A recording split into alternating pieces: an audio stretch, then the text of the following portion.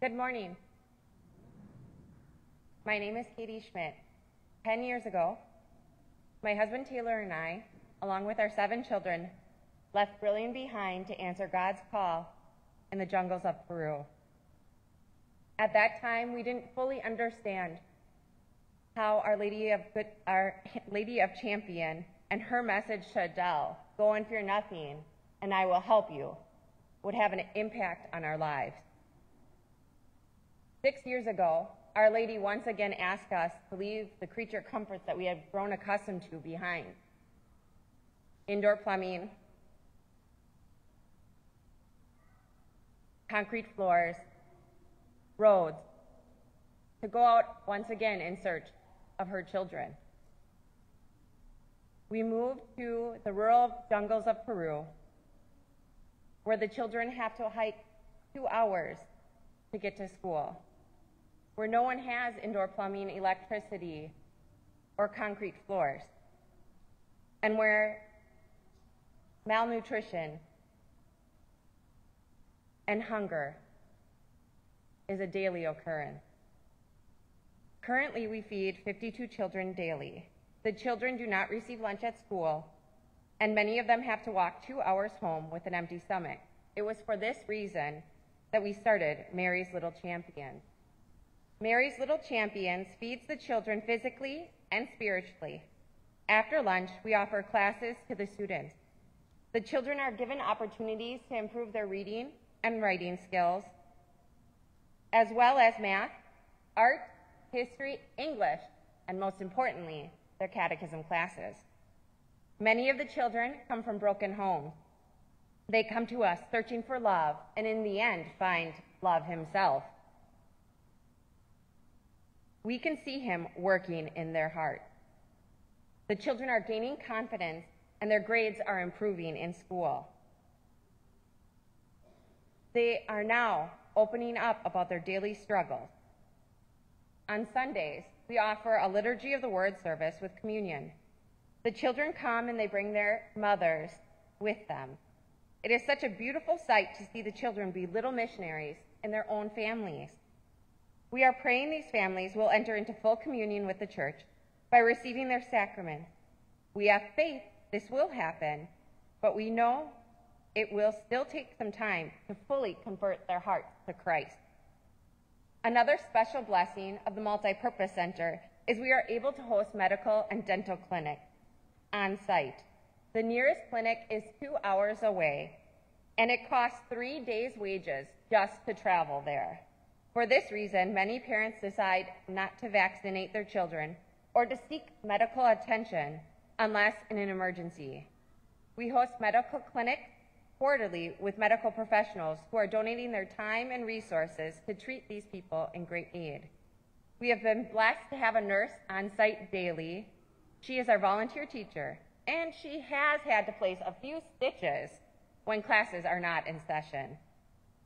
We have been blessed to have a good group of volunteers to help with this program. These volunteers participated in this exact program 10 years ago when we first moved to Peru.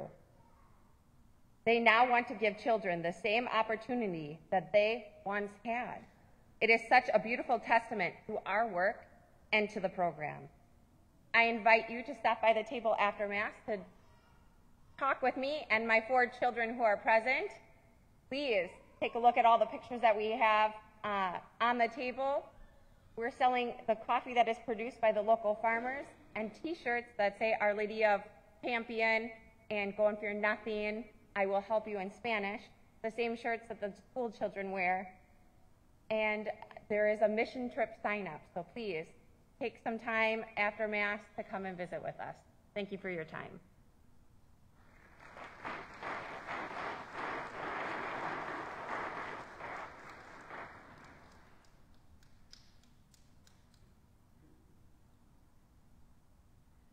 Welcome to Holy Family Parish as we celebrate the most holy sacrifice of the Mass. The Christian Mothers and Lady Fidelity is hosting a raffle fundraiser. See the poster in the narthex for the cash prize. Tickets will be sold after Mass in the narthex. This Friday, November 1st, is All Saints' Day. which is a holy day of obligation. Mass times are 8:15 a.m. and 6 p.m. on Friday. This Saturday, November 2nd, is a commemoration of All Souls Day, our memorial mass, where we remember and pray for all deceased parishioners from the past year. Will take place during the 4 p.m. Mass on Saturday. This special memorial Mass still fulfills your Sunday obligation, and all are welcome to attend. Holy Family Parish will be holding an Election Day Adoration on Tuesday, November 5th, starting with the 8:15 Mass through 8 p.m. There needs to be at least one person in church every hour during this adoration. Please sign up in the narthex to pray for our nation.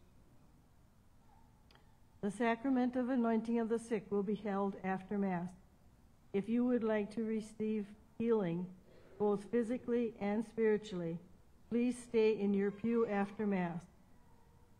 There will be a special collection today for hurricane relief with proceeds going to Catholic Charities USA. Thank you for your generosity. Today in the Gospel, we hear about a blind man calling out to Jesus to have pity on him. As we enter into this Mass, let us all recall our imperfections and our need for Jesus.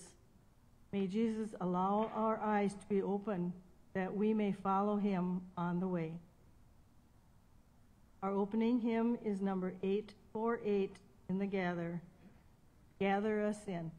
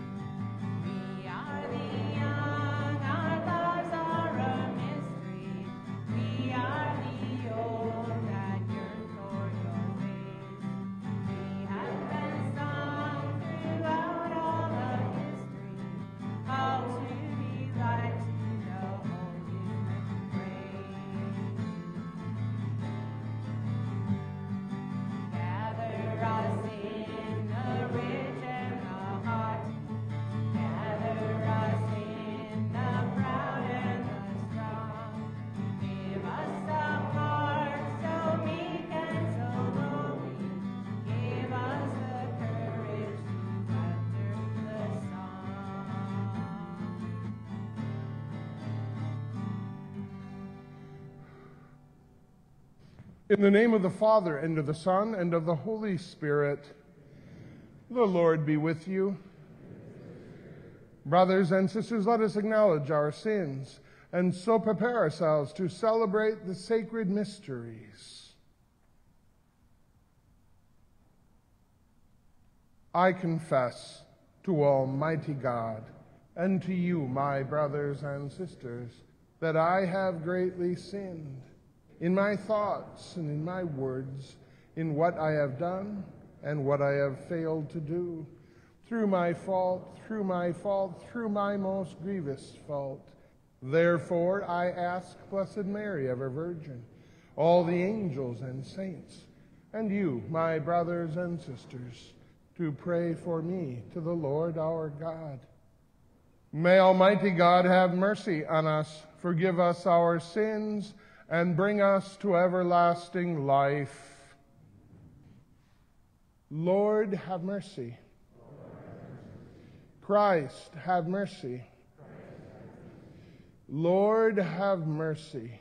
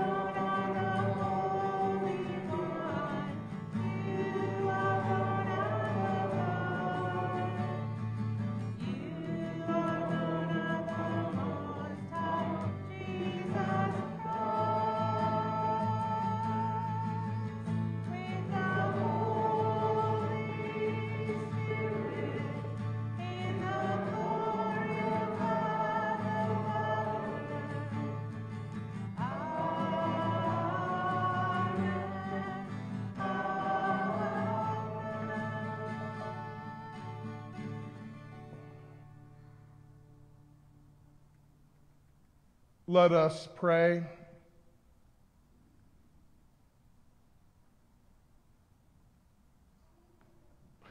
Almighty ever living God, increase our faith, hope, and charity, and make us love what you command, so that we may merit what you promise.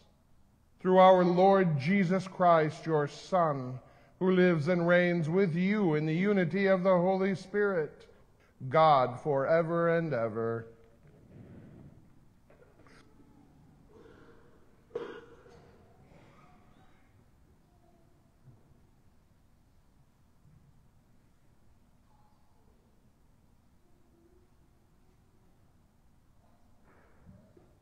A reading from the book of the prophet Jeremiah. Thus says the Lord Shout with joy for Jacob, exalt at the head of the nations. Proclaim your praise and say, The Lord has delivered his people, the remnant of Israel. Behold, I will bring them back from the land of the north. I will gather them from the ends of the world with the blind and the lame in their midst, the mothers and those with child. They shall return as an immense throng. They departed in tears, but I will console them and guide them. I will lead them to the brooks of water on a level road, so none shall stumble. For I am a father to Israel. Ephraim is my firstborn. The word of the Lord.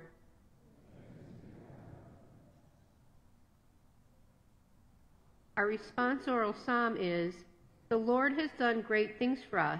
We are filled with joy.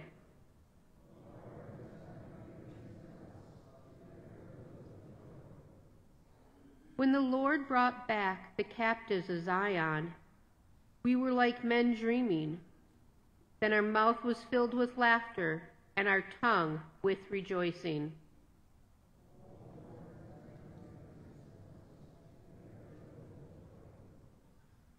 Then they said among the nations, The Lord has done great things for them. The Lord has done great things for us. We are glad indeed.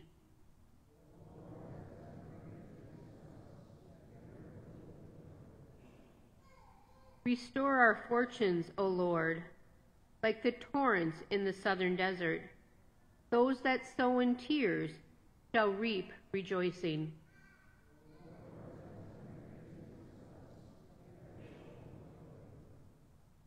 Although they go forth weeping, crying the seed to be sown, they shall come back rejoicing, carrying their sheaves.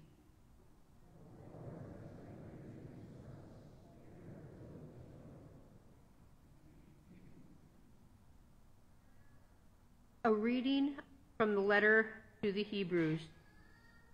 Brothers and sisters, every high priest is taken from among men and made their representative before God to offer gifts and sacrifices for sins. He is able to deal patiently with the ignorant and the erring, for he himself is beset by weakness. And so, for this reason, must make sin offerings for himself as well as for the people. No one takes this honor upon himself, but only when called by God, just as Aaron was. In the same way, it was not Christ who glorified himself in becoming high priest, but rather the one who said to him, You are my son, this day I have begotten you. Just as he says in another place, You are a priest forever, according to the order of Melchizedek. The word of the Lord.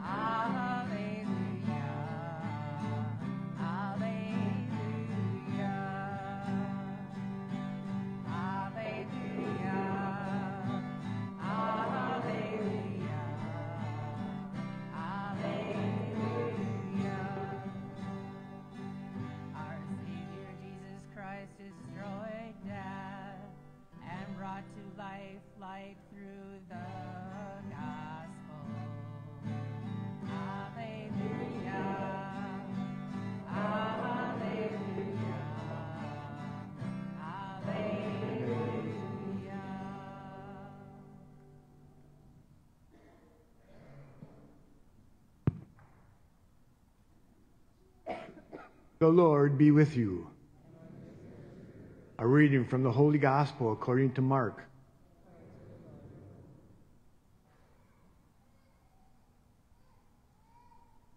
As Jesus was leaving Jericho with his disciples and a sizable crowd, Bartimaeus, a blind man, the son of Timaeus, sat by the roadside begging. On hearing that it was Jesus of Nazareth, he began to cry out and say, Jesus, son of David, have pity on me. And many rebuked him, telling him to be silent. But he kept calling out all the more, Son of David, have pity on me. Jesus stopped and said, Call him. So they called the blind man, saying to him, Take courage, get up. Jesus is calling you. He threw aside his cloak, sprang up, and came to Jesus. Jesus said to him in reply, What do you want me to do for you? The blind man replied to him, Master, I want to see. Jesus told him, Go your way, your faith has saved you. Immediately he received his sight and followed him on the way. The Gospel of the Lord.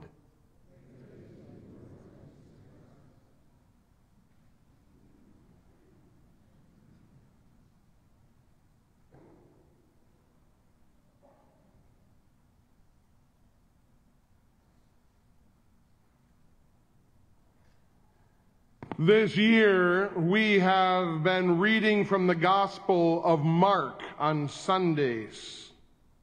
This is the shortest Gospel, and I would hope that everyone uh, here would have at some point in this year taken the 45 minutes or so to read the Gospel and to know the Gospel of Mark.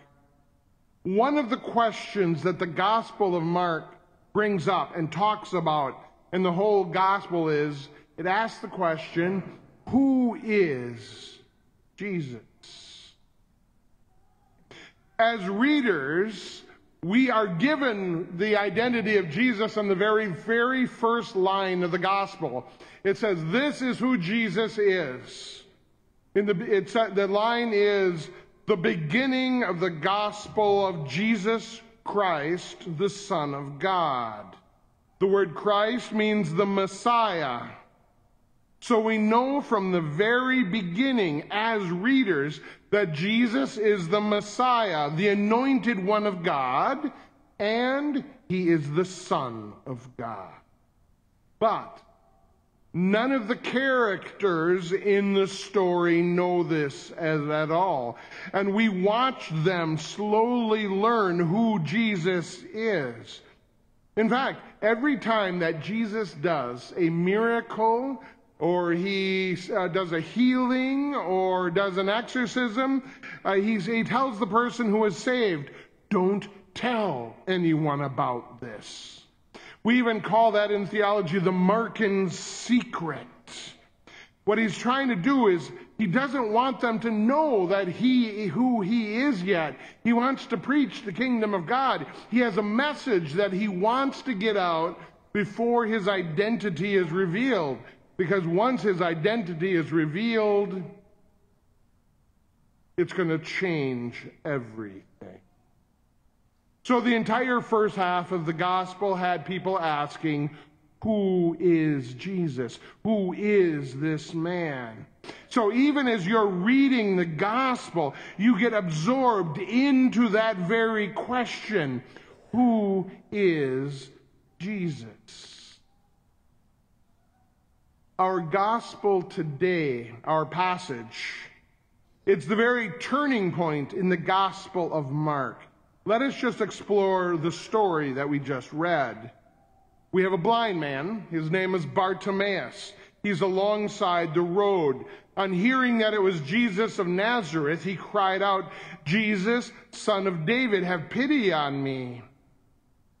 The disciples of Jesus tried to make him be quiet, but he continued to yell, Jesus, son of David, have pity on me. And it repeats that line in the, in the gospel. Then, when he was called forward, he leapt up, ran to Jesus, and Jesus asked, What do you want me to do for you? Now remember, he was blind. He could not see. And he responded, I want to see. As I imagine this scene in my head, I just imagine him having this intense look on his face. I want to see. Jesus healed him immediately, and he followed Jesus on the way. Mark, the gospel writer, was brilliant. Bartimaeus said something that nobody had said yet in that gospel. He called Jesus the son of David. So if you understand that the time, uh, unless you understand, that's no big deal.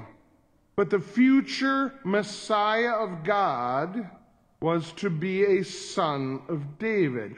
Bartimaeus was crying out that Jesus was the Messiah. Jesus was the Christ. Jesus was the anointed one sent from God to save Israel and to bring God to the world. In other words, that blind man saw more clearly than any other character in the gospel up until that point. He was a blind man who saw reality more clearly than anyone who had their physical sight. This was actually a turning point in the gospel. Because the very next verse, we have Jesus now entering into Jerusalem, and, and everything is going to be moving towards the cross. Bartimaeus recognized that Jesus is the Messiah. And then the gospel of the, the, the direction of the gospel changed. Now, the first line of the gospel, remember, Jesus was not only the Messiah, but also the Son of God. And the characters had to learn this as well. First, they learned he was the Messiah, but then he gets to the cross. You remember the soldier at the foot of the cross? He looked up at Jesus after he had died the earth shook, and there was a darkness that covered the land. And that soldier looked up and said, Truly, he was the Son of God. We now know who Jesus is. Our eyes are open. We are no longer blind. We see. We know who Jesus is. This story about Bartimaeus, the blind man, it was also special to me personally because I had an experience of this gospel. Just before I was confirmed, I was in high school and we had religion class, and they wanted to teach us how to pray using Lectio Divina. Now, Lectio Divina is a way to pray with Scripture. You read the passage all the way through, and then you read it again slowly, giving time for each line to think about it, to meditate on it. And, and then they even described what the situation would have looked like, what things smelled like, uh, looked like, seemed like. And the goal was to engage your imagination and even place yourself into the story. And so that you can even take up one of the characters. Now, up until this point, I had never prayed like that before. This was a new experience for me. Now, since that moment, I love praying like this. I love to read a story of Jesus then place myself in as one of the characters and replay the entire story in my imagination with me being engaged. And in some, in some of my prayer, that's given me some wonderful discussions with Jesus because as one of the characters, I talk with Jesus, and that's what prayer is all about. Talking with Jesus. So, I had never prayed like this before. And, and, and it, was, it was an exciting thing to do. I was probably around 16 years old at the time. And I remember walking into the church, even thinking, I don't know what, the, what are they going to have us do? I don't understand. And be, almost being annoyed we're doing something different. But I followed directions. I closed my eyes. And I imagined that I was in the place of Bartimaeus. I was blind. I could not see. I could only hear. I was in darkness. And that's when I realized that when you are in a place of darkness, crying out to Jesus means a lot more. Jesus, Son of David, have mercy on me. I imagine myself wanting Jesus so much that I was crying out for him to save me. I'd never done anything like that before. I never cried out to Jesus to save me. It gave me an experience that I had never had before, even though it was only in my imagination. However, it was prayer, so it was even deeper. Then I came, we came to the line, Lord, I want to see. Again, standing before Jesus in my imagination and calling out, I want to see this again struck me. Before that, my relationship with Jesus Christ was mostly kneeling by my bed at night saying formal prayers. That's a wonderful thing. I encourage it for everyone, and I still do that to this day.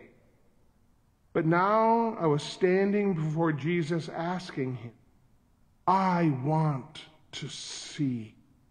And I realized as I was praying that it was not just physical sight that I wanted. I want to see. I want to understand. I want to know Jesus. What are you all about? How are you part of my life?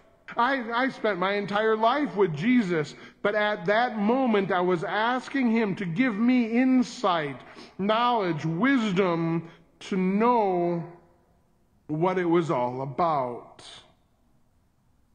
The last line sealed the deal. We were in the dark, we were praying, I was listening, and then it said that the Bartimaeus followed Jesus. In my, in my imagination, remember, I was thinking as if I was Bartimaeus, and I imagine Jesus just turning around and continuing to walk down that dusty road and I followed. I just had this imagination of Jesus in front of me walking. Now, the catechist, I don't even remember who it was, who was leading that Lectio Divina, had a very long silence, which allowed in my imagination just walking behind Jesus and realizing what that means. I realized I needed to really follow Jesus in my life. And for us as Christians, that means to love Jesus, to follow him, especially in our daily prayer, going to Mass, and loving others as Jesus loves. Our gospel today is about really seeing who Jesus was. We need to know his identity. He was the Messiah, the anointed one of God, and he was the Son of God himself. Once we know who he is, we should also want to leap up and follow him with our entire life. Because it is only then that we really can see.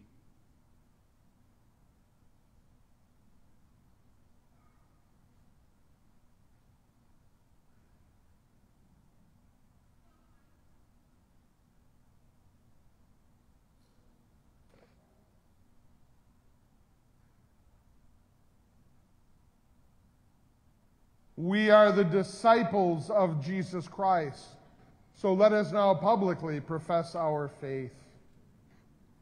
I believe in one God, the Father Almighty, the maker of heaven and earth, of all things visible and invisible. I believe in one Lord Jesus Christ, the only begotten Son of God, born of the Father before all ages, God from God, light from light, true God from true God, begotten, not made, consubstantial with the Father. Through him all things were made. For us men and for our salvation, he came down from heaven, and by the Holy Spirit was incarnate of the Virgin Mary and became man. For our sake he was crucified under Pontius Pilate. He suffered death and was buried, and rose again on the third day in accordance with the Scriptures. He ascended into heaven and is seated at the right hand of the Father. He will come again in glory to judge the living and the dead, and his kingdom will have no end.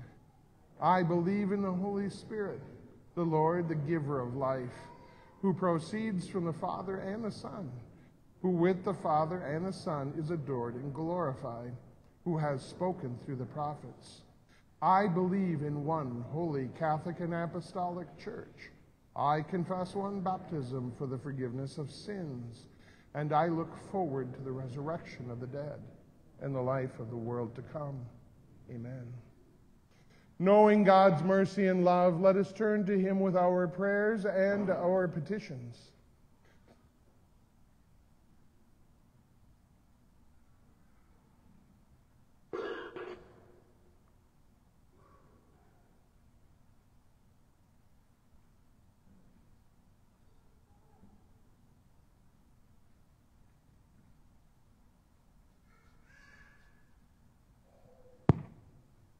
My bad.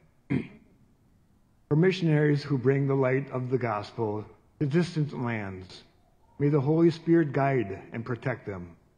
Let us pray to the Lord. Hear our prayer. For our upcoming election, may the wisdom of the Holy Spirit guide us as we choose our next national, state, and local leaders. Let us pray to the Lord for all people to see the value and dignity of human life in the womb of the mother until natural death. Let's pray to the Lord. For those who work the land, may God bless their efforts as they bring in this year's harvest. Let's pray to the Lord. For all affected by the devastation of Hurricanes Helene and Milton, Let's pray to the Lord. For this worship community, may God continue to help us grow in holiness. Let's pray to the Lord. For all who have died, especially John Warachek, for whom this Mass is offered, and for those who have no one else to pray for them, may they rest in eternal peace.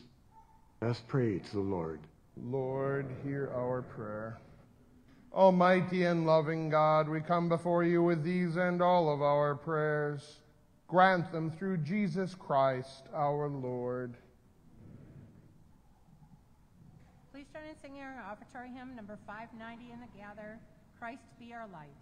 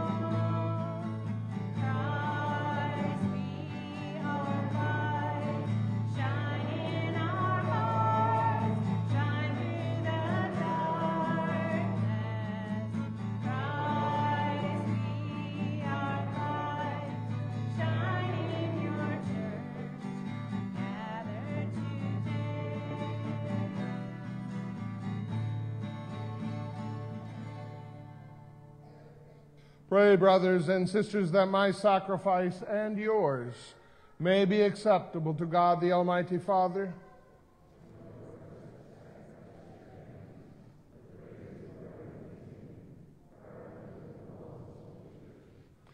Look, we pray, O Lord, on the offerings we make to your majesty, that whatever is done by us in your service may be directed above all to your glory. Through Christ our Lord. The Lord be with you. Lift up your hearts. Let us give thanks to the Lord our God. It is truly right and just, our duty and our salvation always and everywhere to give you thanks, Lord, Holy Father, Almighty and eternal God. For when your children were scattered afar by sin, through the blood of your Son and the power of the Spirit, you gathered them again to yourself. That a people formed as one by the unity of the Trinity and made the body of Christ in the temple of the Holy Spirit might, to the praise of your manifold wisdom, be manifest as the church. And so, in the company of the choirs of angels, we praise you, and with joy we acclaim.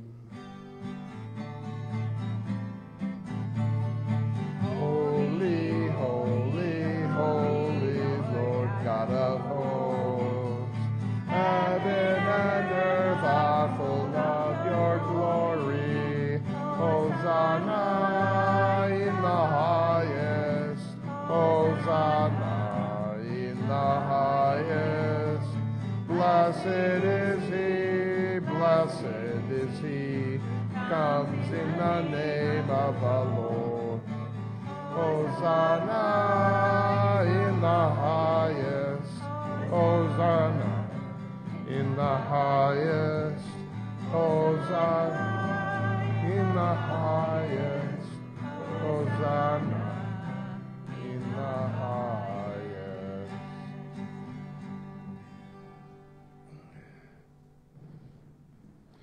You are indeed holy, O Lord, the fount of all holiness.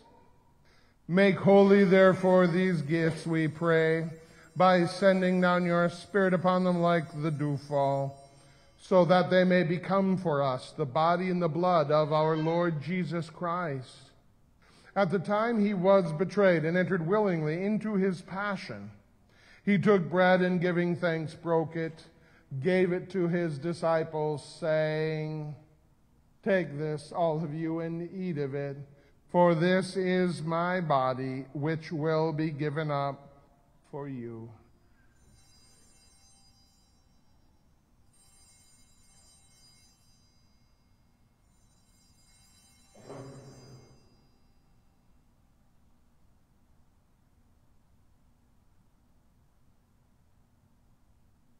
In a similar way, when supper was ended, he took the chalice and once more giving thanks, gave it to his disciples, saying, Take this, all of you, and drink from it, for this is the chalice of my blood, the blood of the new and eternal covenant, which will be poured out for you and for many for the forgiveness of sins.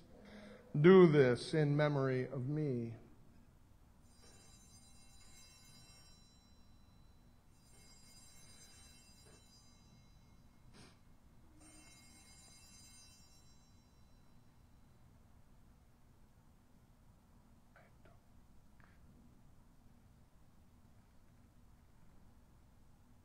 The mystery of faith.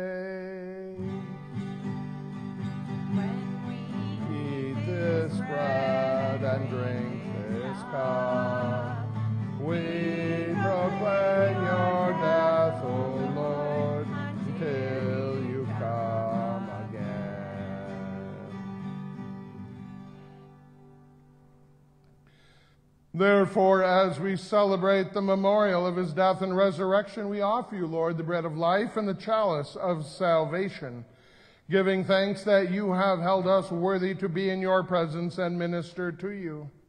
Humbly we pray that partaking of the body and blood of Christ, we may be gathered into one by the Holy Spirit. Remember, Lord, your church spread throughout the world and bring her to the fullness of charity together with Francis, our Pope, and David, our Bishop, and all the clergy. Remember also our brothers and sisters who have fallen asleep in the hope of the resurrection and, and all who have died in your mercy. Welcome them into the light of your face.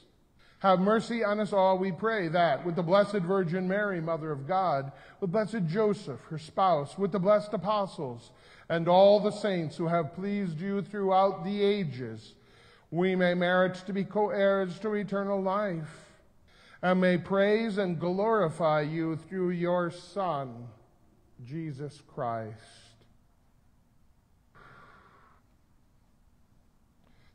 Through him and with him and in him, O God, Almighty Father, in the unity of the Holy Spirit, all glory and honor is yours forever and ever.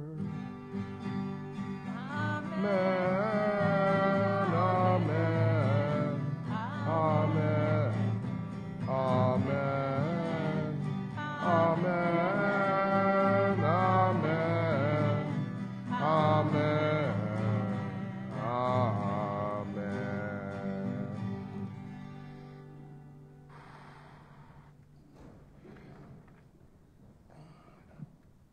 At the Savior's command, informed by divine teaching, we dare to say, Our Father, who art in heaven, hallowed be thy name.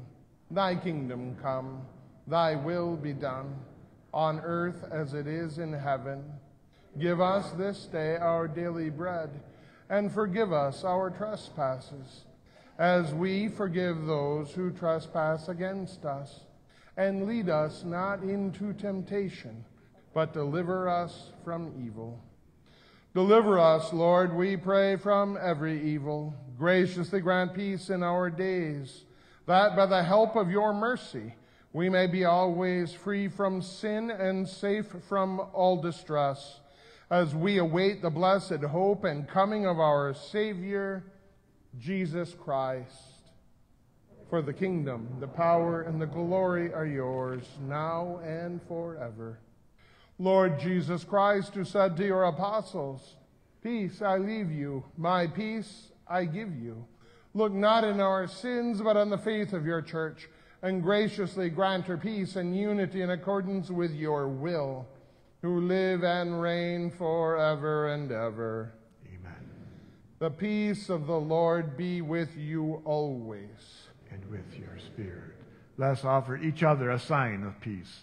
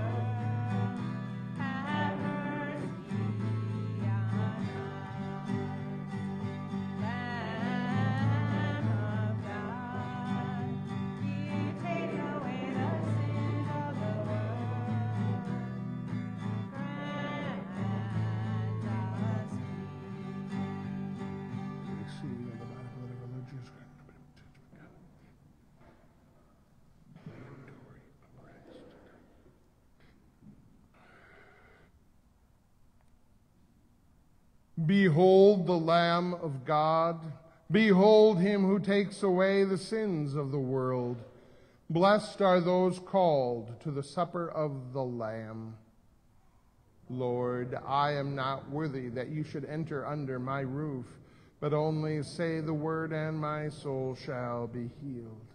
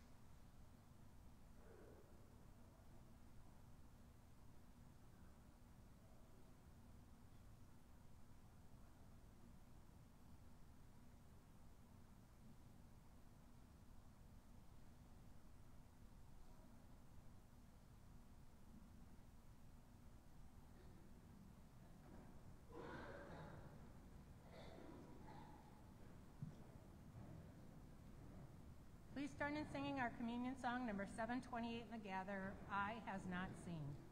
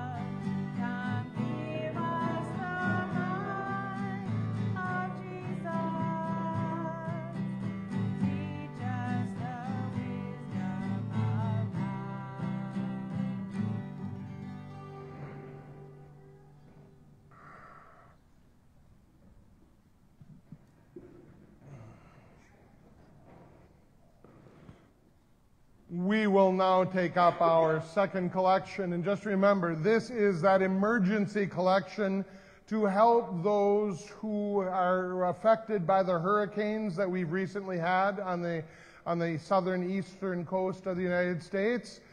The emergency may be over, but now it's time for the rebuilding, and that's what will have a big expense. So Catholic Charities will work with them. While we're taking up the collection, I just want to make the comment that immediately following Mass, we are going to have the sacrament of the anointing of the sick. That is, an, uh, that is a sacrament for anyone who may be having some illness or some accident that they're dealing with or some, uh, some sort of, uh, or, or even older age or if you're struggling with mental issues. If you need a reason for healing, this is the, your sacrament. So after Mass, after we're all out, I would ask anyone who would like to receive that sacrament to come forward, enter the first pews, leave a pew, every other pew empty, so the first pew, next pew empty, so that I can go in and out and give the sacrament itself. It's a very short ceremony. It's going to be uh, the prayer beginning, the actual sacrament for each person, and then, and then the Our Father and a prayer at the end. So just so you know what to expect. Uh, so, with those bringing communion to the homebound, please come forward.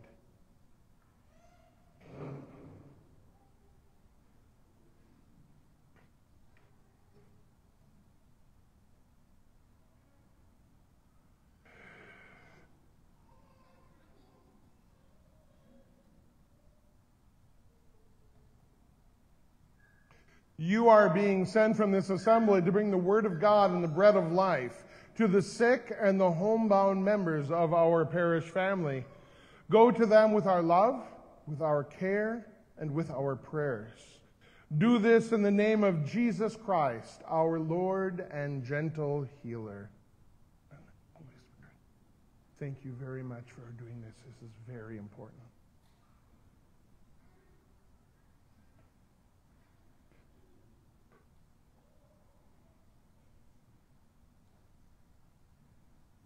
Let us pray.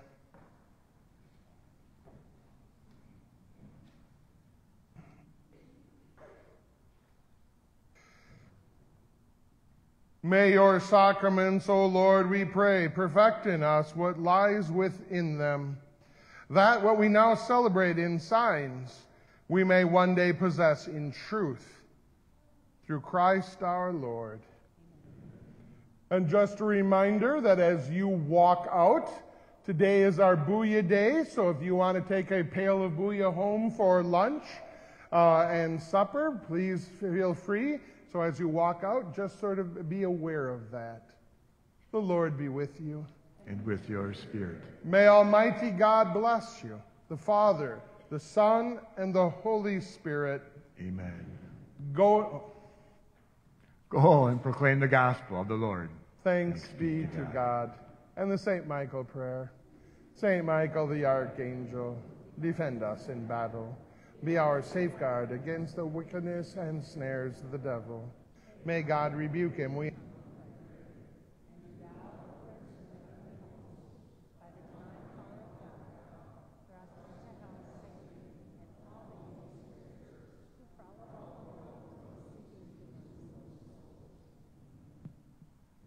Please join us singing our song of going forth, number 680 in the gather, We Walk by Faith. We walk by